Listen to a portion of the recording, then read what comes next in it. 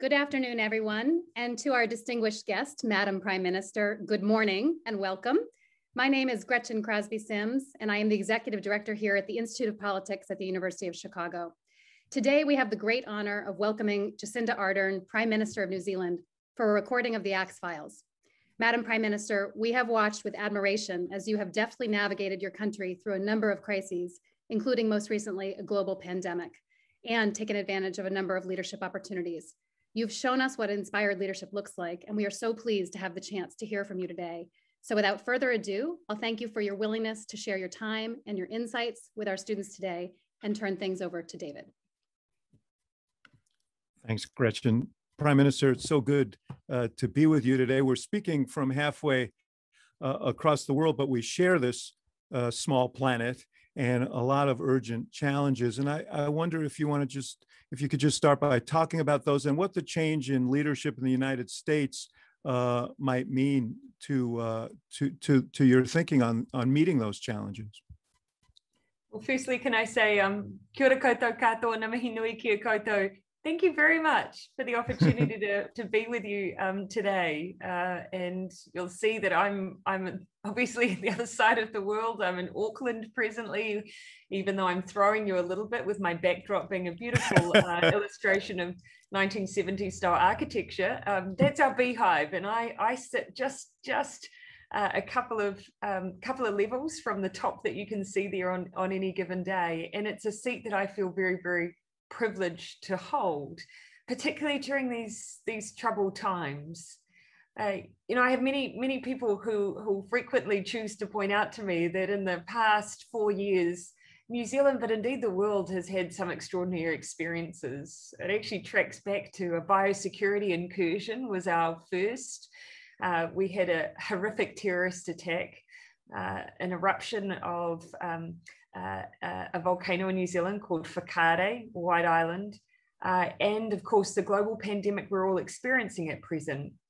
Know, but one of the, the things that uh, we were discuss, dis discussing, David, before we began um, this session today was despite all of that, New Zealand is, is still a nation that is that is very, very focused on what's happening globally in the international political environment.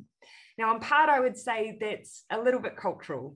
Uh, we're, we're a small nation. We um, consider ourselves to be at a particular place in the pecking order as a nation of 5 million people. Uh, we like to think that we punch above our weight, but we, we never, we assume nothing and we, we, uh, we, we don't act uh, above our station is probably what I would, what I would say, but we always act on principle and we always act on values. But it does matter to us what's happening in global politics because we inherently know how much that can affect us. In part, I think some of that's borne out by our history. As I've said, we're a trading nation, but we've also been a nation that in the past has been gravely and disproportionately affected by global events. Uh, we lost a significant number of our uh, of our people um, during the during the Great Wars.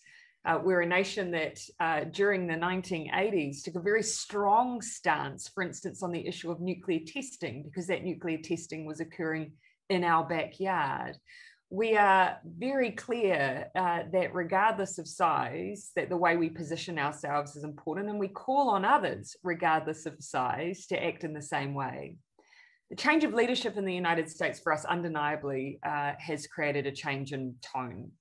Uh, for issues of global importance, such as climate change, we were incredibly pleased to see that that was one of the first moves that was taken by the Biden administration.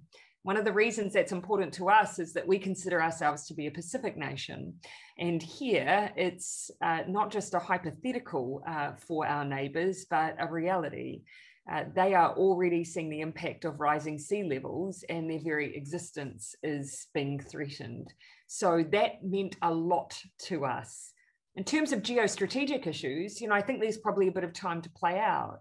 Uh, we never assumed, and it has not yet borne out, that there would necessarily be a difference in the positioning between large uh, uh, world uh, powers. The United States and China's relationship, particularly on trade, continues to be uh, tense. Uh, and that's not something we necessarily expected to change, but we are looking for that greater presence uh, in some of those areas and regions. And beyond just a strategic uh, approach when it comes to defense uh, issues and growing into being engaged in some of the economic architecture in our region as well.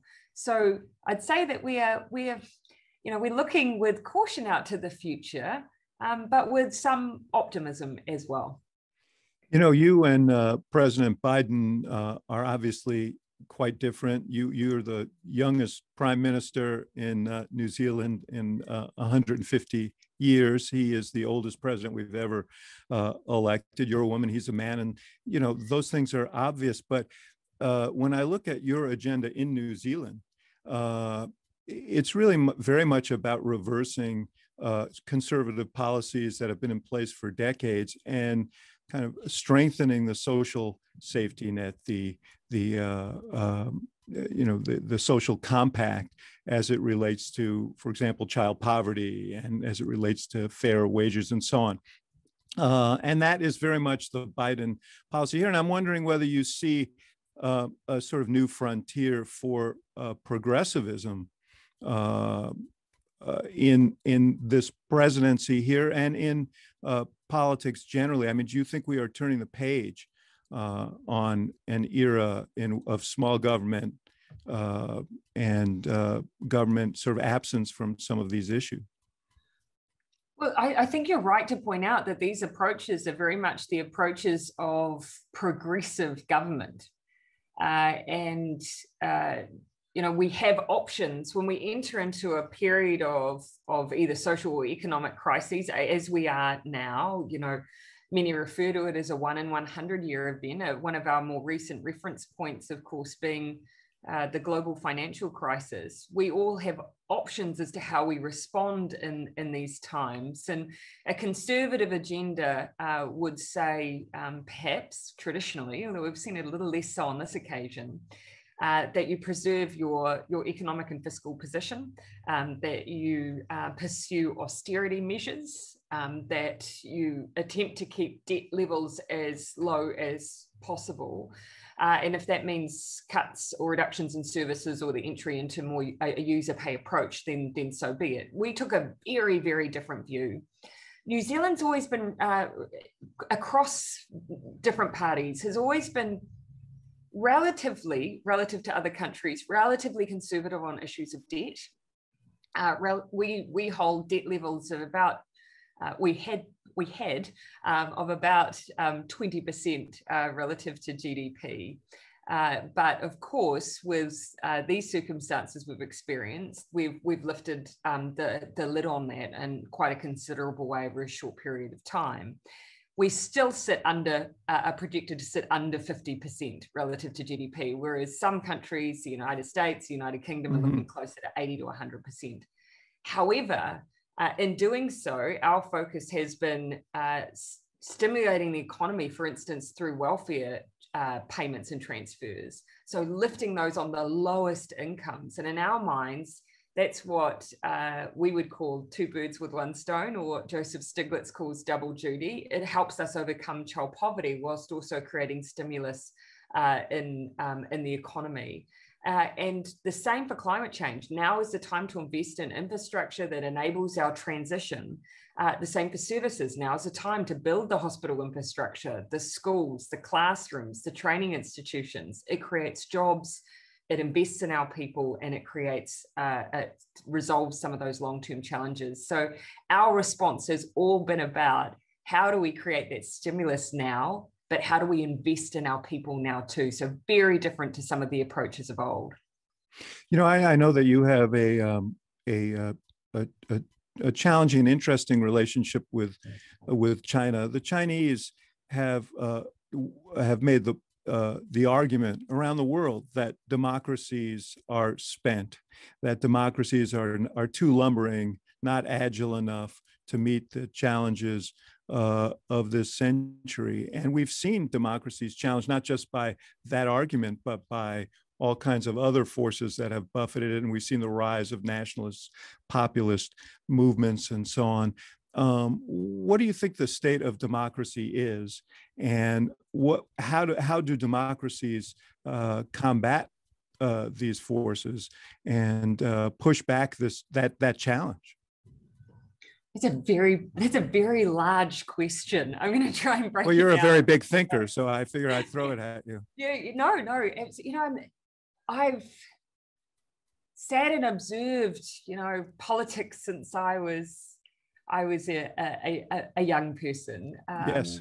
Uh, so we'll, we'll talk about these, that. These these my my observation uh, is that people want from their politics, you know, uh, to see their issues being, uh, if, even if they're not immediately resolved. I think people are you know, rational beings. They don't expect politicians to be miracle workers, but they do expect us to see where the issues are, to acknowledge where they exist, and to do what we can to respond to them.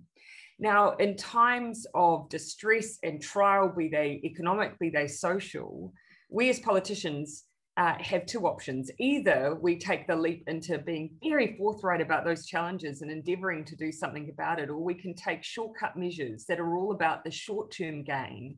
Uh, and the short term gain is very often uh, about taking a route which uh, creates and further entrenches tribalism. So, to give you an example, you know, those who would say to the issue of, say, growth and unemployment, uh, a nation that might be struggling uh, with its traditional forms of economic model, where they may have been a manufacturing nation and now suddenly, uh, with globalization, they're losing some of their relative positioning there and there's job loss that follows.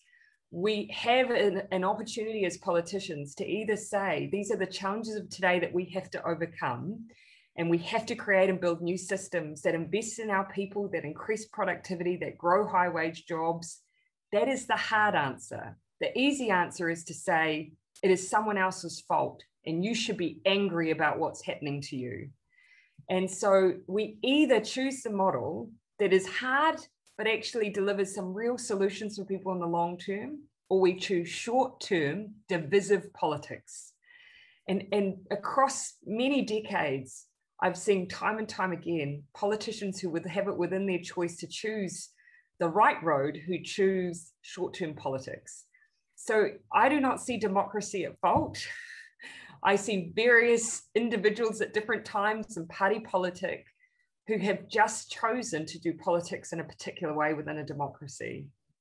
And it's up to us to make sure that we really equip our people to look beyond that short term politicking it's hard. It's really yes. hard, but that's and, that's how I see the world. And maybe harder in a time with social media and yeah. the kind of siloization of information.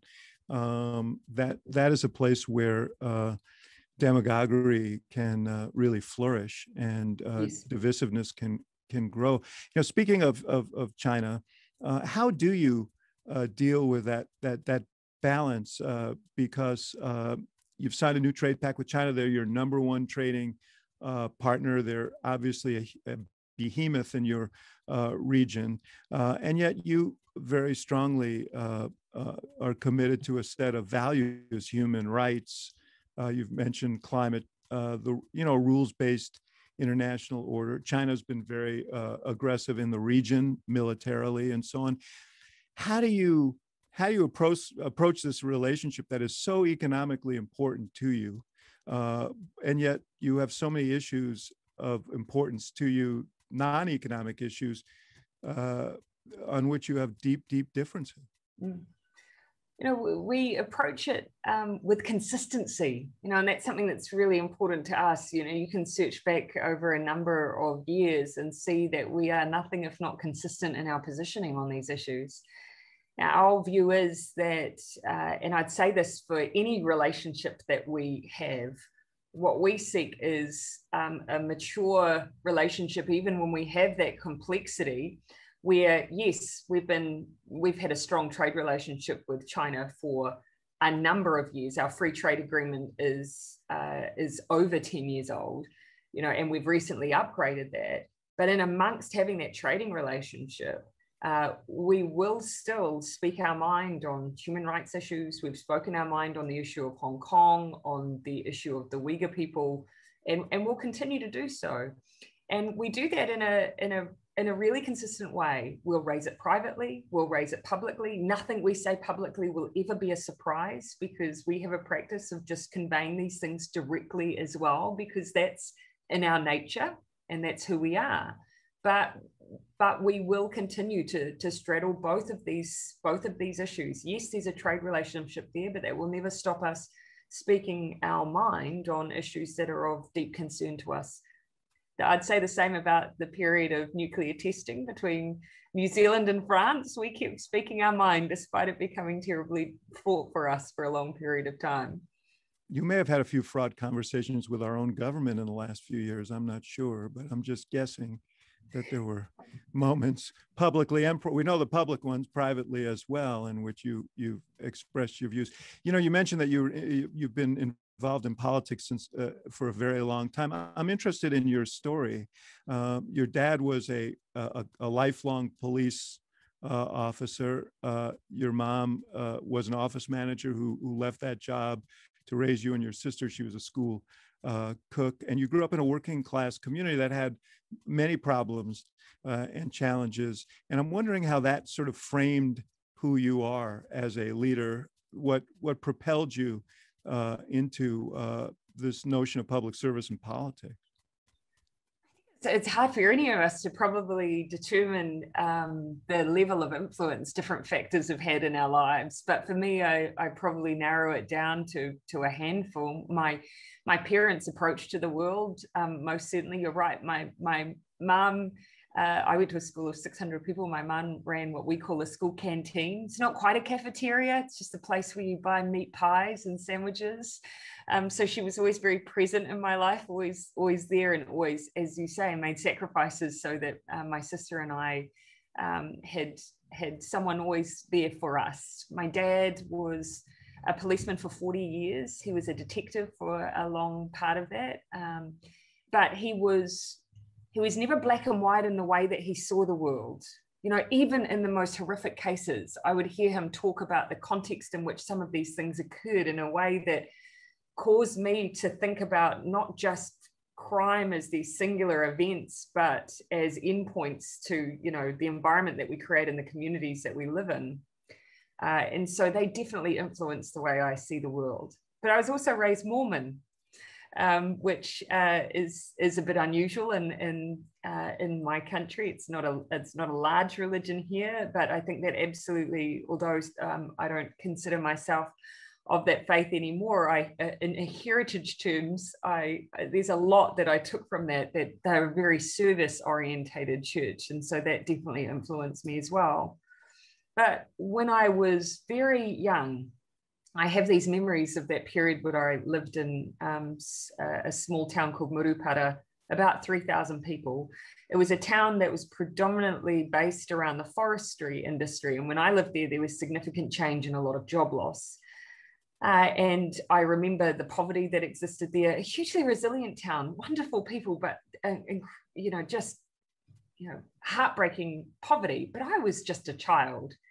And so there was, there was nothing about that that seemed fair to me because when you look at the world through the lens of a child, uh, it doesn't make sense why I had shoes and another child didn't, or I had a school lunch and another child didn't. And so I think probably from quite a young age, I was motivated by issues of inequality. Um, it took me a long time to decide that politics was the place to do something about that. So I can assure you, I wasn't aspiring to be a politician age five. Although we should point out that your uh, your classmates voted you the most likely to become prime minister when you graduated from what we would call high school. Oh, I so... have an explanation for that. I mean, the town I was living in at that time was very conservative. Like, well, you know, that's probably unfair. A conservative town, an agricultural towns predominantly centered around the um, around dairy farming. And uh, i was here i was the liberal progressive kid the only one anyone knew that belonged to a political party. So i was destined to be labeled the politician. Yeah. And you uh, your aunt was involved in labor politics and she got you involved as a teenager. You uh, you worked for a member of parliament uh, uh, as a as a young person. You went uh, this is sort of extraordinary. You ended up after a graduating from college, brief stay in New York, six months in New York, working in a soup kitchen and stuff. You ended up in London working yeah. on Tony Blair's staff uh, when he was prime minister. Um, what did you learn uh, there that has been useful to you uh, as prime minister? Well, I should I should, in fairness, add that the cabinet office is a very large place uh, in the UK. So yes, um, I was understood. I mean, I, am not suggesting you were sitting at his right hand. Oh, but, uh... in New Zealand, because we're so small, people think that. So, um, do you know, I learned one of the most immediate lessons because here I had come out of New Zealand politics. I'd worked in this building behind me as a 20-something year old where there was close proximity to the politicians you're working for just by virtue of our size. And suddenly I went into this big machine of uh, uh, of a civil service uh, where the idea of contact time with a minister was very rare, um, but the bureaucracy around doing anything was incredibly intense. I remember spending an entire morning on one occasion trying to organize a conversation between two ministers that needed to occur. Uh, in New Zealand, you would just ask your minister to walk across the hallway and talk to someone. Um, the, the cabinet meetings, uh, often we would be able to anticipate quite clearly uh, what would occur in cabinet committee meetings in a way that was much more organic in New Zealand. So I came to appreciate our proximity. I came to appreciate the uh, accessibility that we have to those who are decision makers and the ability we have to move the dial quite quickly. Now, that is a useful thing um, given we have three year terms. Uh, but in New Zealand, we think that everything is very, very slow and cumbersome, but relative to other countries, um, much, much quicker. And the second, the second thing for me was just by virtue of the unit I was in, I was in something called the Better Regulation Executive. And if I ever yes. wanted to shut down a conversation, I would just say which unit I worked in. Uh, uh, it, I, was gonna, I was actually going to ask you about that because you were the assistant director of the Better Regulation Executive, and I'm thinking, well, you must have an awfully large business card to get uh, to get that title down. Yeah, it was. Um, yeah, it was. It, let's just say um, I, I, remember coming home um, one day and getting off the bus, and and the person who lived next to me was sitting on our stoop, and he, we were having a conversation. And he said, "What do you do?" And I said, oh, "I work for the cabinet office." And he said, "Oh, what kind of cabinets do you make?" and I thought rather than explain to him I work for the Better Regulation Executive, I just said to him, "Oh, dining and occasional."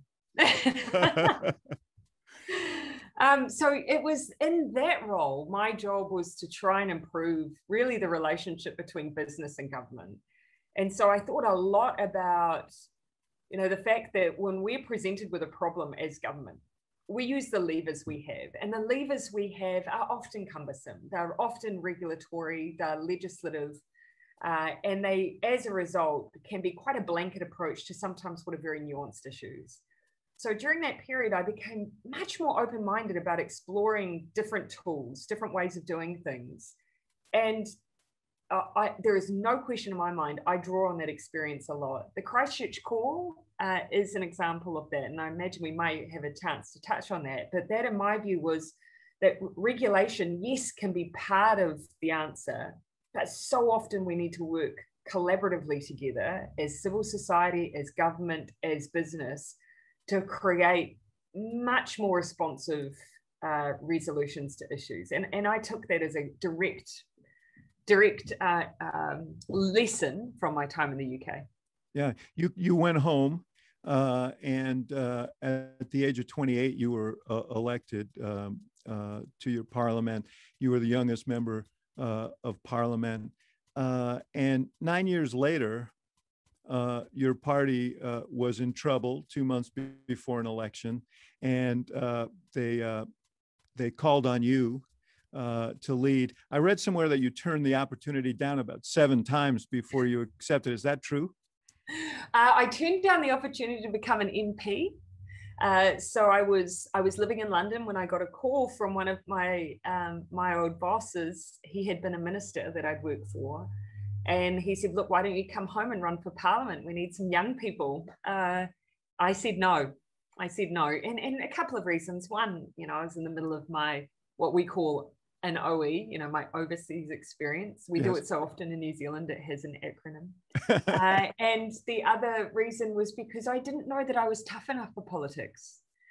Uh, I had it in my head um, for good reason that you have to be quite thick skinned. You certainly can't be the emotional type.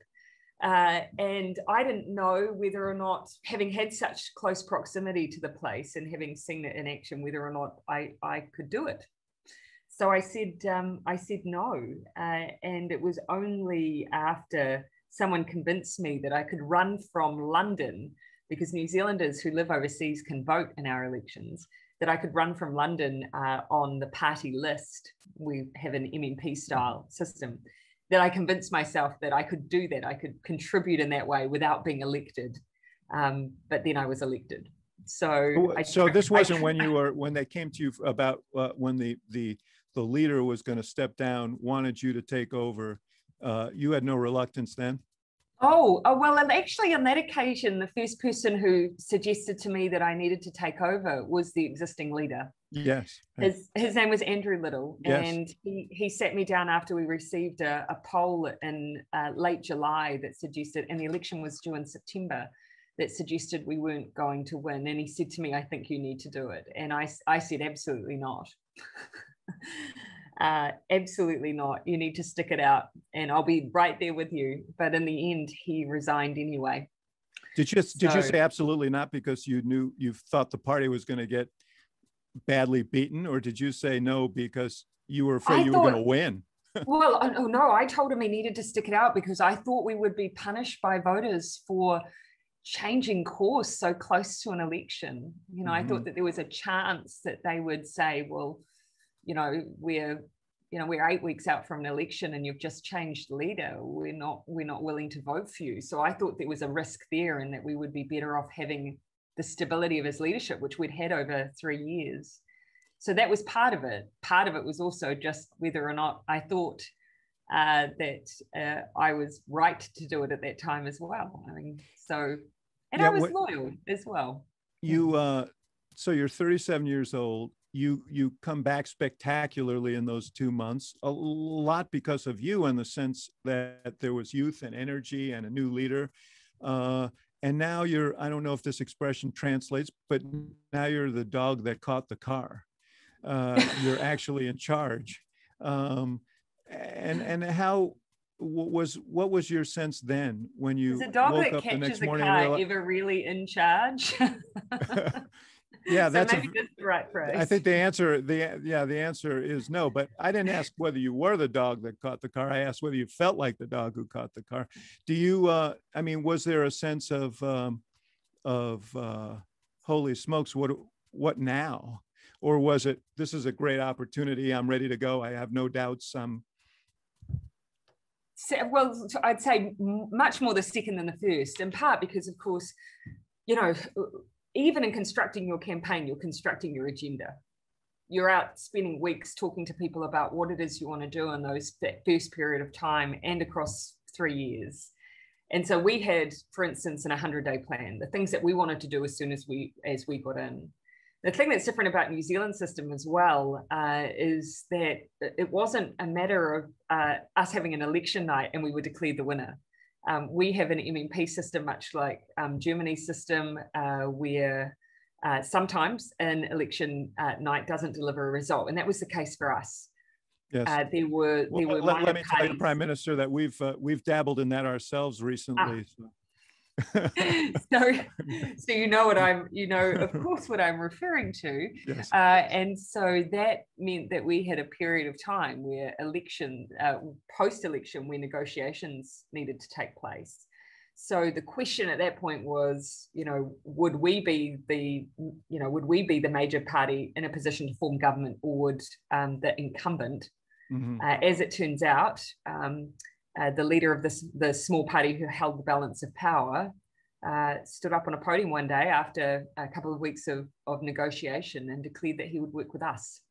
Yeah, which so was, was, kind of, which was kind of, was sort of unprecedented, kind of an extraordinary development. That was really your first leadership test. But you know, you say you ran on an agenda and Yep. so you felt comfortable with that. But you've learned. but also because of the the way that the we formed government, the immediate act, as soon as that night when he made that decision, it was straight into formalizing the coalition agreements, working through negotiations on what we would what we would be implementing. There was just no time to sit and think what just happened. But my but my question was, um, you know, and I learned this in my own experience uh, working uh, in the White House. You set an agenda out, and you and your expectation is to pursue that agenda, and then events intrude, volcanoes intrude, uh, and you mentioned Christchurch, this horrific, horrific massacre uh, uh, at two uh, Muslim mo- mosques in um, uh, in Christchurch happened. Fifty-one people uh, killed uh, by a uh, extremist uh, terrorist gunman. Uh, tell me about that ex- experience and the steps that you took, because you know we're dealing with these issues all the time here of mass uh, murders with guns. Uh, it's a constant uh, it's a constant heartache for us and frustration. Uh, so tell me what you did and tell me how it's worked. you're you're right to say that you know the things that you campaign on are the things that you hope to do while you're governing. And if I've learned anything, it's that um, particularly through the pandemic, and I'll come I'll come back to the terrorist attack, but particularly through the pandemic, the better you're able to manage the things that you don't anticipate, the more Mhm. likely you are to be in a position to do the things that you that you. I think to that's right. I think Yeah. that's right. Those are the tests that, that where people are intensely focused on you and make judgments absolutely absolutely. And so those things either um, uh, either wind up being the, the reason you are unable to fulfill your own agenda or they become the things that you do alongside it.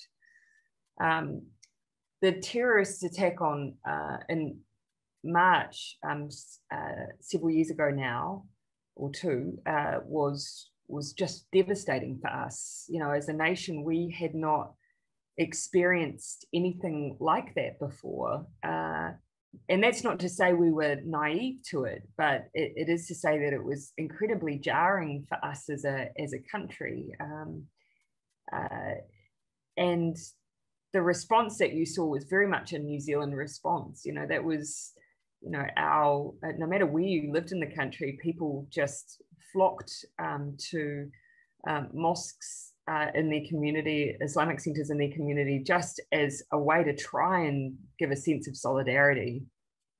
I felt like uh, at any given time, um, my job was just to reflect how New Zealanders were feeling. Uh, and alongside a huge amount of grief, sat a real determination that if there was anything in the way that our laws existed or um, the way our regulatory regulatory tools work that may have created an environment that that enabled this to happen, then that needed to be dealt with immediately. And I, I remember sitting in a meeting where the police described to me the terrorists' firearms and how he had accessed those firearms and used them that day. And uh, despite knowing that if I wanted to create any changes, I would need the support of three parties, uh, I felt so strongly about needing to change those rules that I just that day went down and said we would. And roughly 10 days later, we did. And you, basically you ban the the sale uh, of uh, semi-automatic weapons Yes. uh, in your country. How effective has that been? And what was what was the reaction? Well, the interesting thing for us is that actually, in terms of effectiveness, it was very difficult for us to gauge uh, how many of these military style semi automatic weapons existed in the community because we license users, we don't register individual weapons. And that's been that's part of the issue we've identified and sought to address. But we wanted to create as much support for this move as we could. And so our view was look, people have gone out and they've legitimately bought these weapons when it's been legal to do so. We are now banning their use. We essentially need to buy them back. And so that's what we did. We brought in independent assessors to help us create a guide for the different weapons that we were um, buying. And we set up stations and, uh, and collection points around the country and we bought them. Uh, and that was our way of trying to create an environment where people saw that we were being fair in the way we were doing what we were doing. And by and large, it had really good support. Now, there's some legitimate use for those weapons in New Zealand, pest control. We've got a lot of wild goats, deer, and possums in New Zealand. So we created a mechanism to deal with that. And I think people saw we were pragmatic. So it had fairly broad support. Uh, there were some lobbyists in the United States who weren't so happy to see what we were doing in New Zealand. So we probably got a bit of noise from that. Yeah, and Australia went through a same the same kind of thing some years ago. So uh, these are models. We have a much more difficult situation here because of um, uh, obviously the constitutional issues, uh, but also the pervasiveness of of guns is so great here. But it's an interesting. You you created an interesting template and uh, one uh, that that worth uh, thinking about here. Um, what about the pandemic? You've been you've been held up as a sort of model globally uh, for how you handled it. You handled it in a very very uh, uh, swift and I don't want to say draconian, but a very you know very so those who didn't like it may have said draconian, but but a, but a very emphatic way in that you uh, imposed a lockdown very very quickly. Um, and you've experienced very uh, few cases of the virus, a couple of thousand cases in a country of five uh. Uh, tell me about that and the decision making around that and the challenges around that. You know, uh, one of the advantages that we had, and I'm always quick to point to these advantages because uh, you know, for, for us, our decision making was enabled or supported by the evidence, and uh, we were able to draw on and what we were seeing in other places that were gravely affected early on in the pandemic. Um, so, uh, you know, there was that that played a big role for us. Our first case didn't arrive in New Zealand until the 28th of February. Uh, by this time, we'd seen um, just the scale of it, so we're starting to see the scale of its impact we'd already started using our borders as a way to control uh, the the entry of the virus into New Zealand. And you know, as an island nation um, that takes quite a bit of effort and energy to get to, that was that was really critical for us. One of the challenges we had, though, of course, was that we have a large number of New Zealanders who live abroad, and many of them started coming home, and so that that really did expedite um, uh, and increase the numbers that we were seeing in New Zealand. But for me, the, the decision making process went a little bit like this. Early on, everyone was talking about flattening the curve. And flattening the curve, of course, was all about trying to keep level of infections at a rate where you were able to cope within your health system with what was coming through the doors. If your health system's overrun, people unnecessarily die that felt to us like a very tricky um, level to try and maintain for a virus that was moving through the community at such a at such a rate. I remember one day uh, I have a chief science advisor, and my chief science advisor we were in daily contact, and she came into the building and she she put down in front of me a graph that some epidemiologist had crafted, which showed that flattening the curve in New Zealand wasn't going to work. The rate of infection would outstrip our hospital capacity and people would die. And we talked about then what the alternative was. And the alternative was this model of these small waves, which the easiest way to express it was we see the virus prop up we use control measures and infection control measures and contact tracing and isolation to try and just get rid of it every time it arrives. And I was looking at this graph saying, well, okay, we've got to find a way to communicate to people that we will have to move in and out of restrictions depending on what's come what we're experiencing. Now, communicating that kind of system. I, the only thing I could liken it to is in New Zealand when we are in drought conditions. You know, we have these little gauges that sit on the side of the road for fire as well. I think I've seen them in the United States, yes. where people know they're either in green or they're in red or they're in they're in yellow. So uh, we said, look, we need an alert system. and we need a set of measures that, depending on the risks, sit alongside, and we need to share with New Zealand that that's what we're going to do. And so we had that conversation on a Wednesday. By Friday, we were sitting down designing the alert level system by Saturday. We did something extraordinary. We don't do live broadcasts that cut into programming in New Zealand, but we did that on that day. And it was the middle of the day. People told me afterwards they saw people stop in the supermarket and watch on their phones I, I literally felt like we were preparing New Zealanders for war. Um, it felt, the magnitude of it felt really significant. Uh, by a couple of days later, we were in a, a full lockdown. But in doing so, we managed to get control back.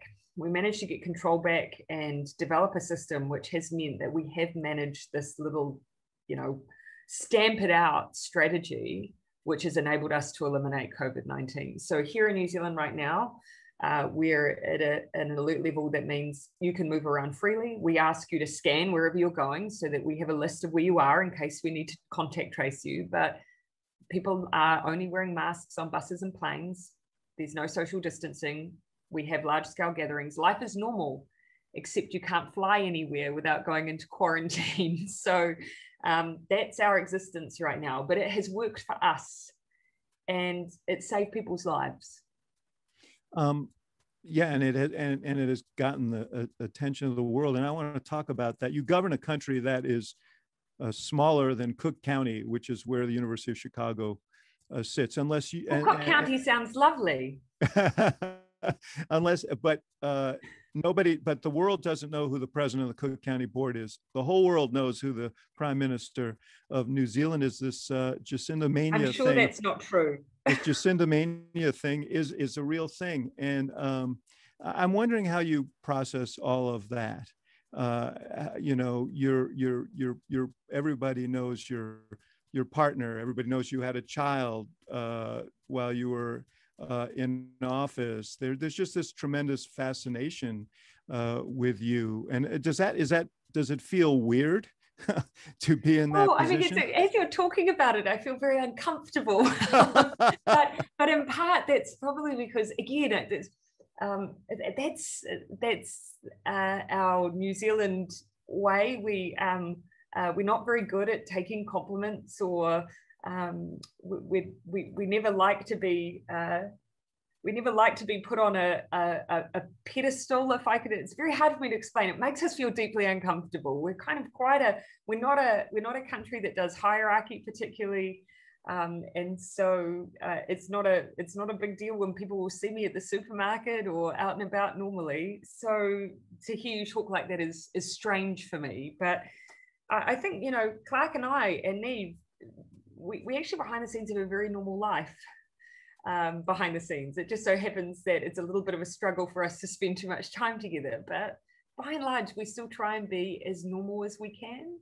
Uh, so that's why it feels feels odd. Is all that attention is it helpful or hurtful politically? Do New Zealanders take pride in the fact that their leader is is is globally known and and widely respected, or or or is it like hey she's spending too much time on that stuff she should be focused on us well I, I, don't think anyone thinks i'm not focused on new zealand i haven't been anywhere for for, for 15 months um so i'm right that right helps yeah. Here. that helps i don't i don't do a, a lot of international um uh, media and things. I try and really, because actually for me, it's very genuine. I'm elected to be the Prime Minister of New Zealand. I'm interested in doing the inter- in international work where it, it does further, you know, some of the uh, the issues that we care deeply about, um, human rights on, on the world stage, those multilateral institutions, our trade agenda, climate action, you know, where, where we have a role to play, that's where I'll look to try and play it.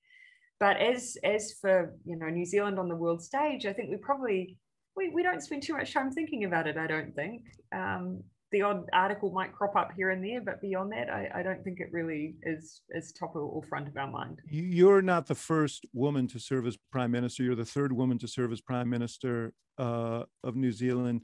Um, but surely you, you, have faced sexism in in in, in politics and and some barriers. Uh, and there are probably women who are listening to our conversation today who uh, well i aspire, hope so. Otherwise there's just 157 blokes on here. Who aspire to who aspire to leadership. And, and, what advice do you have for them based on your experience? You know i think when i think about the experience of women in politics in new zealand over the years they've they've they've been vastly different. Uh, you know i'm the 99th female politician to have entered into New Zealand politics, but the number since me has has escalated rapidly, and that is fantastic. But it was not so long ago that being a woman in politics was a very isolating experience. And so it's very easy to look back on that period and go, well, at least I don't get the constant commentary on clothing or the blatant sexism that you used to see. We have moved a long way. But I don't think, therefore, um, a woman of my generation or women seeking to move into leadership, therefore, can trivialize their own experiences, which I think we have a tendency to do sometimes. The biggest barrier for, for me was probably the fact that I didn't necessarily think that the traits that I held and valued the most were those that would be easily accepted in politics. You know, I talked a little bit about feeling like I wasn't really tough enough for the environment of politics.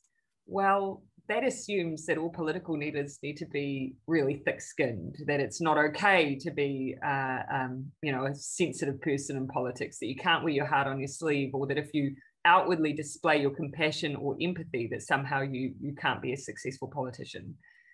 You know, whether or not you call that a gendered issue, whatever label you put on it, it, it is a barrier if you can't see yourself and your style of leadership or the traits that you value in the places that you're seeking to be, then you won't naturally think there's a place for you or there's a place for you to be successful. And at that point, you've either got two options. You either hang back, as I was inclined to do, and say that's not the place for me, or once you're in there, you struggle or you seek to change yourself. And my, my advice would be do not change yourself. do not think to succeed that you have to then fit the mold of what you see around you, because in doing so, we're not creating a space for others. Someone eventually has to say, actually, it can be different. And you can be a different form or style of leader.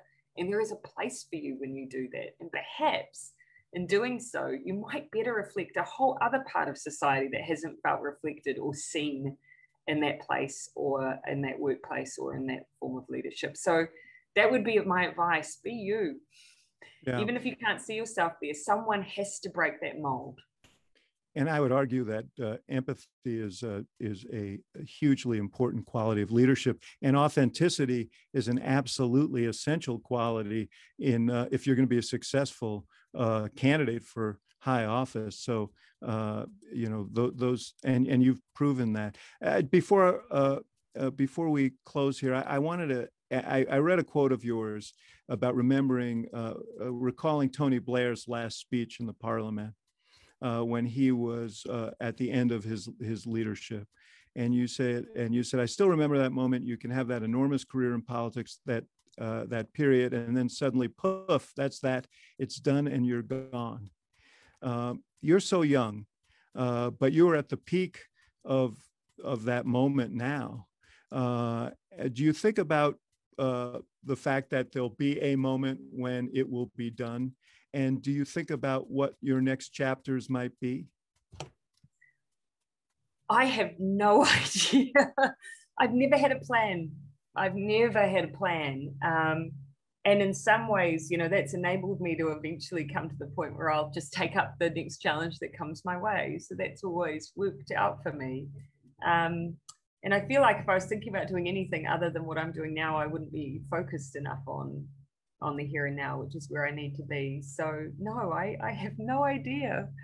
Um, i'll probably i'll probably just go and be a, a slightly more present mum or something like that but I, I do think about the the moment whenever it is that I'm no longer doing this. And I think about it because I sit in parliament from time to time when people do their valedictory. So in New Zealand, when you finish your your time, you have a chance to give a speech and say goodbye in the same way I watched Tony Blair. And we also have this really um, this really uh, interesting tradition that when a member of parliament passes away, no matter what they've, you know, they might have left 20 years ago, but when they pass away, we stand and we have a minute's silence. And that happened a number of times when I first became an MP, until one day I stood in a moment's silence for a name I did not recognize. And that's when it really hit home for me that, you know, all of us, we're there for these moments in time, and it's a really privileged place to be. And someday someone will not recognize your name anymore.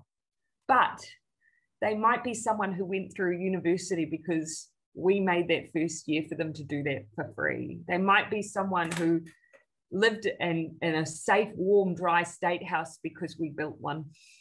Uh, or they might be someone who, you know, lives in an area that wasn't inundated um, by water because of what we did on climate action. It, it doesn't matter if people don't remember your name, but it does matter if you did something meaningful while you were there. And so that for me is the most important thing. Well, let me say, as the director of the Institute of Politics at the University of Chicago, I, I, I could not embrace what you just said more about what the meaning of politics and public service truly is and how you measure your worth and how you measure uh, success. So I, I, appreciate that. And speaking of which, we have some questions from students. Um, and the first one will come from Claire, who is a student in the uh, college. And am I uh, am I reading this uh, question? I guess I am. In 2000, oh, look, it's Claire. Oh, is she here? Oh, Claire, go ahead. Thank Are you. you here? Yes. Okay, great. Um, Thank you for taking my question. Um, in 2019, New Zealand announced a new economic approach, a well-being economic budget that was intended to more holistically meet the needs of your constituents. 2020, however, was by no means a year to regular year to see the impact of that budget. So despite that, how have you seen that the new budget has affected the lives of New Zealanders and how has it affected your policy throughout the year? Mm, a good question. Clear on the basis of that wellbeing budget, uh, we made the largest investment in New Zealand's history in mental health. Um, because by taking that well-being approach, you know, you you immediately see the positive effect of investment on um, people's well-being. Uh, it affects their lives, their livelihoods, their workplaces. Uh, that package, though, we were very honest from the outset. With such underinvestment, um, we needed to build a workforce so probably one of the things that has been the hardest off the back of the wellbeing budget is just the time it takes for us to then see the positive effects and how difficult it can be often to measure outcome in some of those areas. So uh, the positive effects we know now that we're building a primary mental health care system. Um, uh, we've got over a million people who are now covered by doctors where you not only can see your doctor, but you can be brought in and get um, cognitive behavioral therapy training in the same place. Uh, and so that will create a difference, but measuring the impacts of well-being often much more difficult. But we don't want to default to this idea that GDP is still the only and most important measure uh, in a country's success. So over time, I hope that we will build tools that enable us to demonstrate the impacts of our well-being budgets. Claire, thank you. Burke, uh, another student in the college, please. Um, yes, thank you so much, Prime Minister, for coming. Um, my question is, many people claim that more quote unquote progressive policies and positions that countries like New Zealand are adopting are unique to their political and social environments, um, and that they simply wouldn't work in a country like the United States, as an example. Um, and I want to see, you know, how, how would you respond to these claims, and to what extent do you think that they are true? Oh, do you know i mean i can i can only i can only you know of course i don't have the experience of being a member of the civil service in any other um, in in the united states. Of course i've got that experience in the united kingdom. Um, but as an observer of, of politics and political systems uh, i think the only barrier sometimes is just what your citizenry is used to. That actually we have it within our power to shift and make cons- considerably different decisions that we have in the past. We just have to find ways to bring our citizenry with us. I remember watching the debate around uh, universal healthcare in the United States, and I could not understand how this became ideological. uh, for, for me, uh, if there's anything you should be able to take politics out of, it's whether or not you should be able to access care when you're sick. Um, what, why is there politics in that? uh, and so uh, you'll look, you'll listen to me saying that and think, ah, how naive. But that's that's literally how I view the world. You know, uh, yes, you can have some debate in New Zealand about whether or not how much you should pay the the doctor or so on. But actually, by and large, we across the board accept that there are some things that actually aren't about politics. They're just about access, decent human rights, and making sure that you're looking after your people. So you just got to bring your citizenry with you. And, and, and if there's an ability to try and build a cross party approach, try and take it. That's when something sticks. My last point we just made the biggest increases to benefits in New Zealand, our government support system in New Zealand since the 1940s, and the opposition didn't disagree with it. So it is possible to bring people with you. Thanks, Burke. Uh, Maggie, uh, a student in the college, step up. Hi, uh, kia ora. Um, oh, kia ora. Yeah. um, I did my working holiday in New Zealand before starting as an undergraduate um, at UChicago. So, and I loved it. So thank you so much. Um, oh, wonderful. One of the most common conversations I found myself having with New Zealanders um, was surrounded immigration and um, the worry that New Zealand's urban infrastructure couldn't really handle the growing population. And so I, you know, the growing multiculturalism in New Zealand is incredible. But mm. um, I was just curious about your response to the complaint that the grand majority of monetary resources and government support um, is being allocated to, I don't know, Auckland, for example, or and perhaps leaving other New Zealanders underserved. And, and I guess along the same lines, do you think it'll be necessary to promote more regional development in the future? Ah, Ngā mihi nui. Thank you, Maggie, um, for your question. I hope you enjoyed your time here and that you tell everyone uh, what an amazing place it is to visit when you can. Uh, so we have had that, that issue of just growing um, population pressure uh, in New Zealand's largest city. We have a housing crisis, so it is having an impact. People aren't able to access affordable housing in New Zealand present. And whilst we're pulling every lever we can to try and change that, there's no question that some of it has been around um, the, the way that we've accessed a temporary workforce for New Zealand. And it's it's not always been that way over the last 10 years. So before we took office, um, we saw temporary temporary work visas um, in New Zealand double from 100,000 to 200,000. When you're a small country, that has an impact. In fact, in the OECD, we have the largest portion of temporary workers in the OECD. So that's not something people necessarily will know about New Zealand. Now, that has an effect on infrastructure, as you say, but also it can have the effect of suppressing wages. It can have the effect of decreasing productivity, uh, using um, technological tools to change up the way that we do things. Uh, um, so uh, we've been uh, encouraged um, by uh, the likes of the OECD to think a little bit about the, the settings that we use and also training and education. Now we're doing that but I've said to New Zealanders, we need to have a discussion about when our borders open again, whether or not those who are coming to work in New Zealand are having a good experience, whether they're getting decent wages and a decent place to live, or whether or not we need to do things differently. So that's a debate that we're having right now. Thanks, Maggie. Uh, John, who uh, is a, a, fellow countryman, uh, Prime Minister, has a question for you that's related. Yeah, kia ora, Ms. Ardern. Uh, my name is John. I graduated kia ora, John. um, and yeah, I'm now at Chicago Booth. Um, and yeah, I just want to first ask you, uh, I, I, want to first just say thank you for, uh, for this talk. Um, and, and second, um, I wanted to also mention that I also come from a, you know, a conservative and agricultural town in New Zealand, being Gisborne. Which one? Gisborne. Um, oh. which I know you have some connection to. So I love um, Gisborne. At least you had the sea.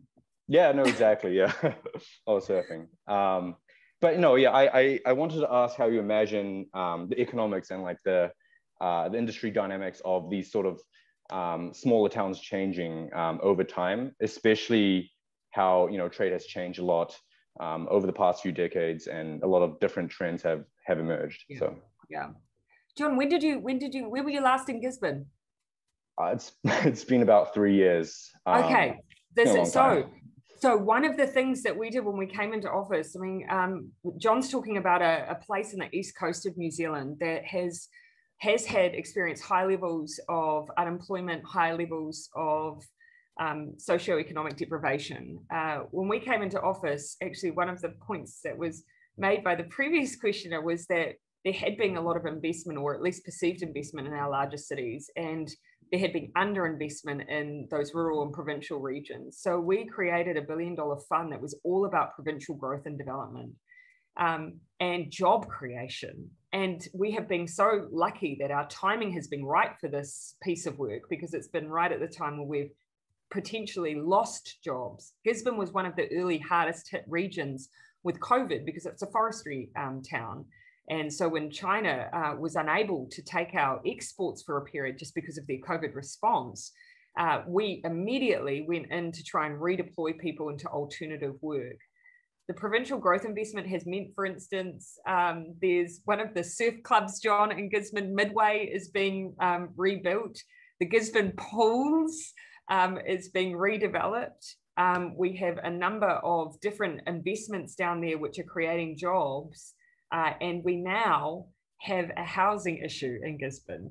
Uh, there's not enough development going on, and house prices are going up exponentially because we're bringing growth back to the area. So, this has been part of our strategy leave no town behind. Um, and it is making a difference, but it's causing us other problems in other ways. So, I'll be really interested when you come home, John, to see what you think.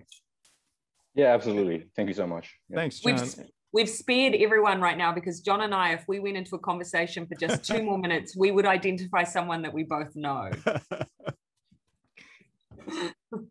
I wish we had time to play that. Uh, but uh, we have one more question. It's always a fun you, game to watch a Kiwi play. you've got a country to run. So, Kira, uh, a student at Booth, um, our uh, business school, uh, has the final question. Kia ora, oh, thank you. It's so I'm so so honored to be talking to you right now. But you spoke a little bit earlier about the importance of authenticity and sort of kindness in your work. I'm interested to hear you talk more about your leadership style, especially when your work and the decisions that you make and the sort of words that you speak affect so many people. I think that probably one of the the key things so is never to be overwhelmed in a decision is to try is to try and think about the, the, the issue and the decision at hand. You know, scale. If you, I think if you sat and thought too long about the idea that in, within a 24-hour period, you, for instance, have to decide whether you're going to lock down every member of your country. If you spend too much time thinking about the magnitude, it can be overwhelming. So in those decision-making moments, very much it was coming back to just what the evidence told us, what you know what the what at the core of the issue we were trying to deal with and then you just dealt with the consequences that sat around it. Uh, so that was just a way to kind of keep everything uh, to just stop anyone from being overwhelmed when we were trying to make those decisions. The next most important point for me is that one of the benefits of coming in to be leader in such a short space of time was i had no choice but to be myself. There was no time to sit down and have anyone tell me how I needed to reinvent who reinvent who I was, or that I needed to take a particular agenda that wasn't my own through a campaign. Uh, it was so immediate. Uh, I the, I arrived in Parliament one morning. Andrew Little resigned. By that afternoon, I was the leader, and I gave us 72 hours to reshape our entire election campaign. So I've, in a way, been lucky. I've only ever been able to be myself, and uh, that that could have either worked out well or gone horribly wrong. um, but it's just it's it's as it happens. Um, that has worked for me. Uh, so do everything you can to always hang on to being your authentic self, no matter what anyone else tells you you need to be. Kira, thank you. Uh, Prime Minister, uh, in my experience, um, the greatly undervalued qualities in politics are empathy decency, kindness, and authenticity, and the courage to be authentic and comfortable in your own skin. And you have all those qualities. You have, there are a lot of very, very smart and capable leaders in the world. Uh, you are one of them. But it's those other qualities that make you an exceptional uh, leader in the world and why you've gotten all of our attention. So uh, we look forward to seeing you down the line and hearing from you and your country. And uh, so appreciate you spending time with us today. Thank you. Ka kite. Thank you everyone for having me.